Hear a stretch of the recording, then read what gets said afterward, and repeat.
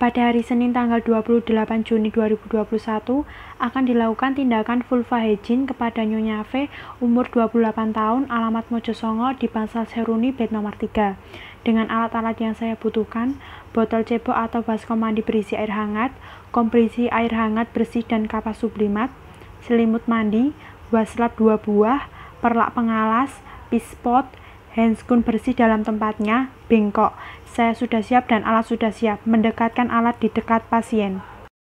Menjelaskan prosedur kepada pasien. Uh, selamat pagi Ibu, perkenalkan nama saya Bidan Lari. Saya sedang berjaga pada pagi hari ini. Pada pagi hari ini saya akan melakukan tindakan perawatan providing kepada Ibu.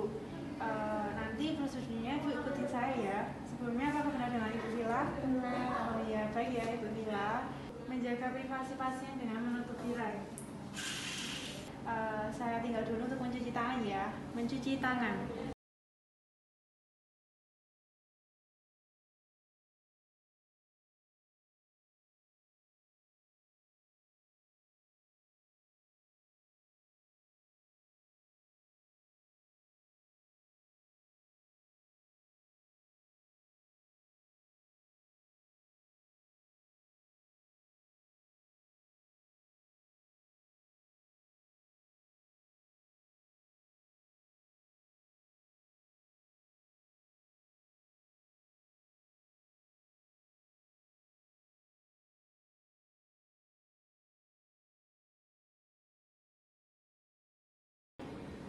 Mengganti selimut pasien dengan selimut mandi. Uh, permisi ya ibu, saya ganti dulu ya selimutnya.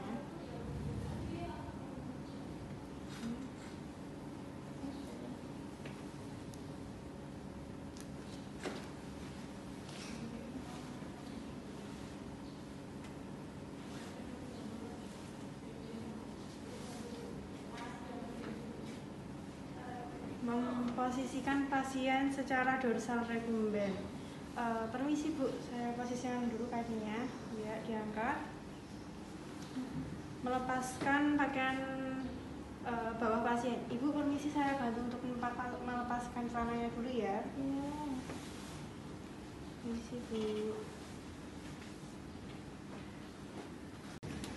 Memasang perlak di bawah bokong pasien. Ibu permisi saya pasang dulu ya perlaknya ya.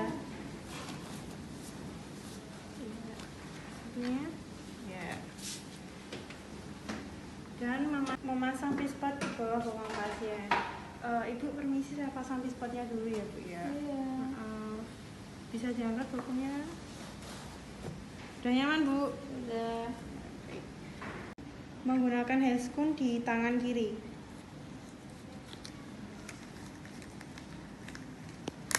Membuka bagian mayora kanan dan kiri pasien menggunakan jari tunjuk. Uh, permisi Bu, saya buka dulu ya.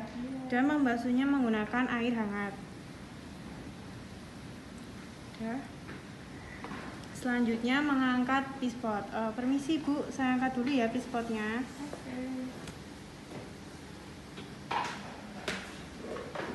Mendekatkan alat-alat di dekat pasien. Memberi bengkok di bawah bagian vagina pasien. Permisi Ibu. Menggunakan handscoon pada bagian tangan selanjutnya. Selanjutnya mulai membersihkan dengan cara mengusapnya satu kali usapan. Satu kali usapan eh, labia mayora kanan, labia mayora kiri, minora kanan, minora kiri, vestibulum hingga ke anus. Selanjutnya basuh menggunakan air hangat. E, permisi ya Bu. Dan keringkan menggunakan tisu kamar mandi. Permisi ya Bu. Dengan sekali satu usapan.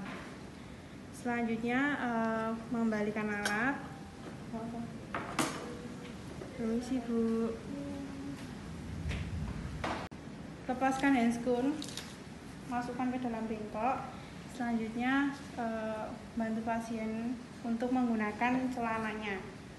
membantu pasien menggunakan celananya. Permisi ya Bu, saya bantu dulu. Mengganti selimut mandi pasien menggunakan selimut tidur pasien. Eh, Ibu permisi saya ganti dulu ya.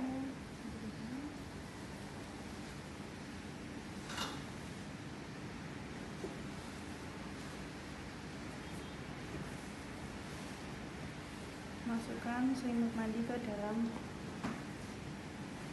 ember. Merapikan pasien kembali.